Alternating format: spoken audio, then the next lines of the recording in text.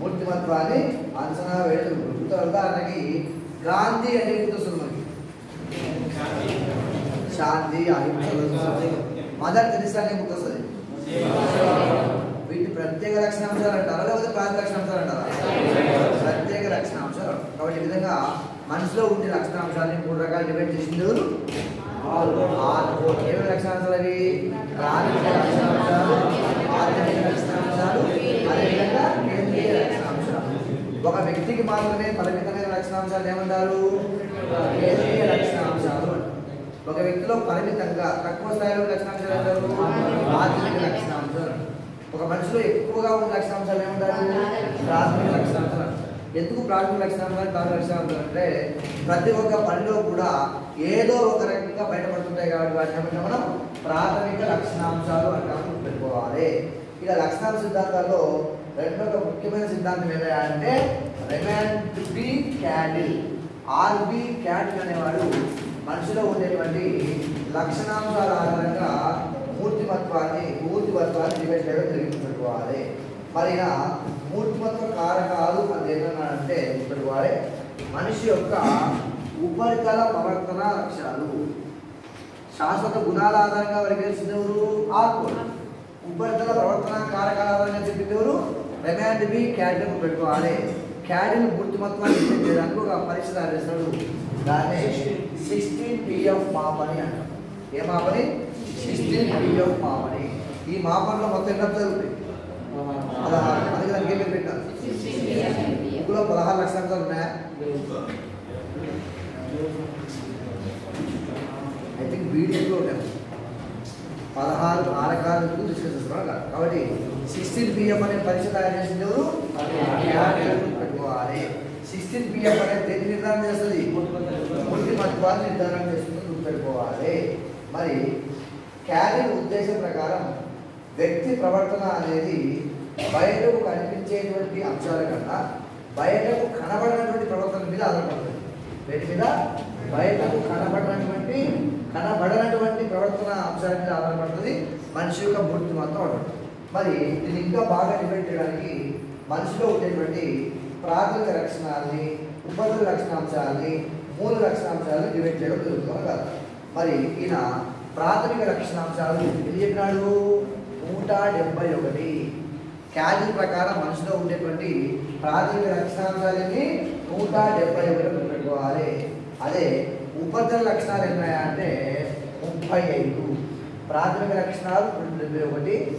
ఉపద్ర ఉపద్రవ లక్షణాలన్నీ ముప్పై ఐదు గుర్తుపెట్టుకోవాలి. ఇందులో ఈ ముప్పై ఐదులో కూడా కేవలం పదహారు మాత్రమే మూల లక్షణాలు. ఈ మూల లక్షణాల ఆధారంగానే మనోడు సిక్స్టీన్ పిఎఫ్ సిద్ధాంతం ప్రవేశపెట్టుకోవాలి మొత్తం ప్రాథమిక లక్షణాలన్నీ నూట డెబ్బై ఒకటి.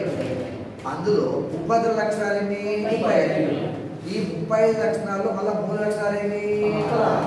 ఆ పదహారు మూల లక్షణాల ఆధారంగా ఏం తయారు చేసినాడు సిక్స్టీన్ పిఎఫ్ మూర్తిమత్వ కారకాలు లేదా పర్సనాలిటీ ఫ్యాక్టర్స్ అనేటువంటి మాపాన్ని తయారు చేయడం జరుగుతుంది. అంటే ఒక వ్యక్తి ముభావంగా ఉన్నాడా కలుపుకోలుగా ఉన్నాడా లేకపోతే ప్రజ్ఞా స్థాయి ఎక్కువ ఉందా లేకపోతే మందబుద్ధిగా ఉన్నాడా చురుకుగా ఉన్నాడా నిరాశ కలిగి ఉన్నాడా భావోద్వేగ స్థిరత్వం ఉందా లేదా? అనుకూలంగా ఉన్నారా? ఆధిక్యం చూన్నారా గాంభీర్యం కలిగి ఉన్నారా? సరదాగా ఉన్నారా? స్వార్థంతో ఉన్నారా? ధర్మపరాయంగా ఉన్నారా? తిరిగి వారిగా ఉన్నారా? సాహసం చేసే వారిగా ఉన్నారా? ధర్మ మార్గం కూడా విచక్షణ కలిగి ఉన్నారా? ఆత్మవిశ్వాసం ఉందా? ఆందోళన చూస్తారా పూర్వాచల పరాయణంగా ఉన్నారా? ప్రయోగాత్మకంగా నిరూపించి చూస్తారా? లేదా సంసమానం అనుసరిస్తారా? స్వయం సమృద్ధిగా ఉంటారా? ఆచరణలో స్వేచ్ఛ కలిగి ఉంటారా? లేదా క్రమబద్ధులుగా ఉంటారా? ఒకరు అనుసరిస్తారా? స్వతంత్రంగా జీవిస్తారా? వీటినే మూల లక్షణాంశాలు కాబట్టి మూల లక్షణాలు అంటే ఏం లేదు? ఒక వ్యక్తి ఏ విధంగా ఉన్నాడు? డల్లు ఉన్నాడా? యాక్టివ్ ఉన్నాడా?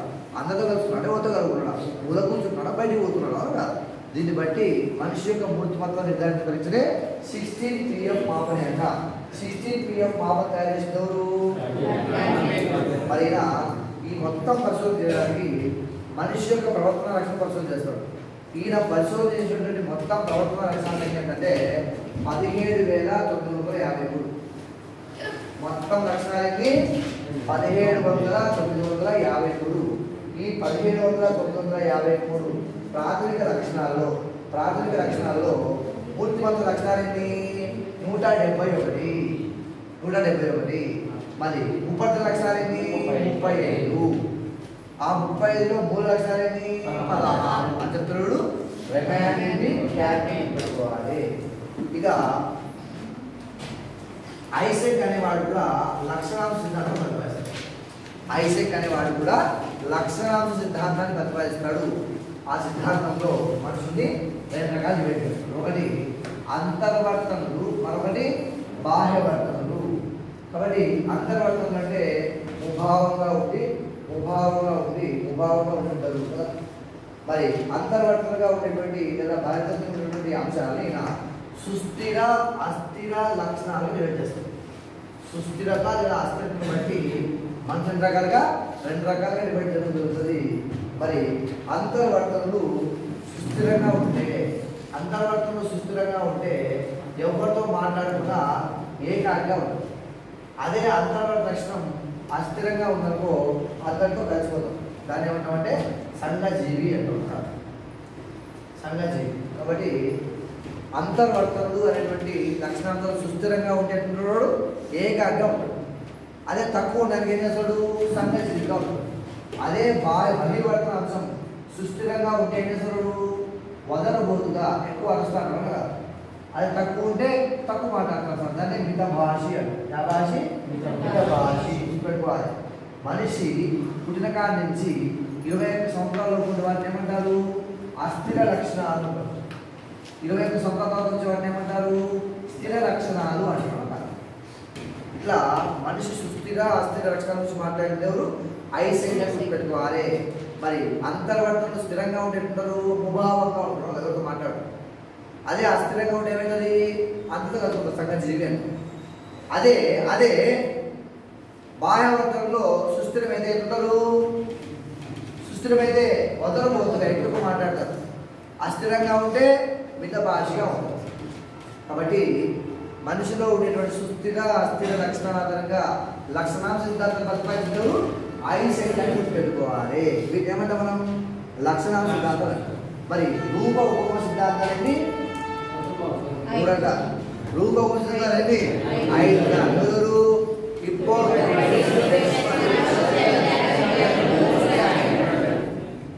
ప్రకారం ఎన్ని? నాలుగు. ఔత్సాహికులు. కృష్ణ ప్రకారం ఎన్ని? మూడు.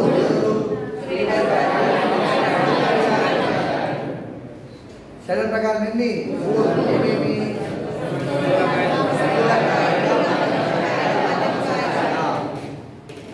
అదే ఇందు ప్రకారం ఎన్ని మూడు మాయవాదములు,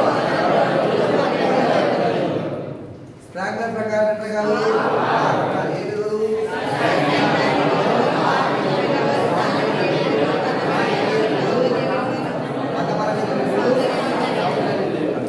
సిద్ధాంతాలు? లక్షణ సిద్ధాంతం మొత్తం ఎన్ని?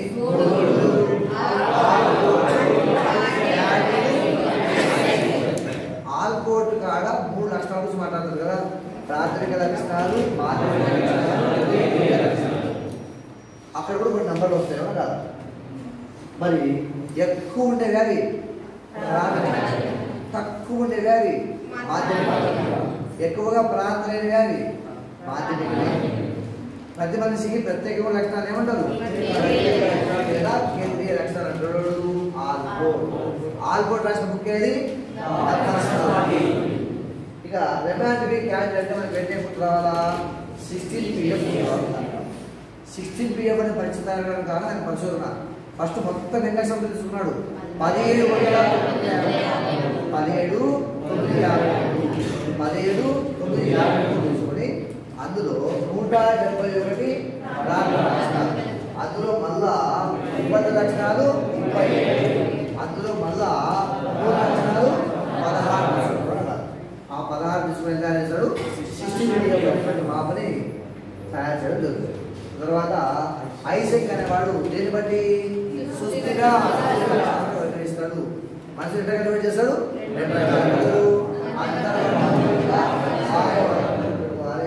మరి అంతర్వర్తంలో సుస్థిర లక్షణం ఉంటే ఏం రోజు ఏకాగా అదే అస్థిర లక్షణం అయితే సంఘ చేతిగా ఉంటుంది అదే బాలవర్గంలో సుస్థిర లక్షణం ఏమవుతుంది వదలిపోతూనే ఉంటారు తక్కువ ఏమవుతుంది ఇంత భాషగా ఉంటుంది. మరి అస్థిర లక్షణాలు ఏ దాకా ఉంటాయి మనకి? ఇరవై ఒకటి ఇరవై ఒకటి సంవత్సరాలు ఉండేది అస్థిర లక్షణాలు పెట్టుకోవాలి అస్థిర లక్షణాలు పెట్టుకోవాలి అదే ఇరవై ఒకటి దాటి ఏమవుతాయి స్థిర లక్షణాలు. అంట ఏ లక్షణాలు? స్థిర లక్షణాలు.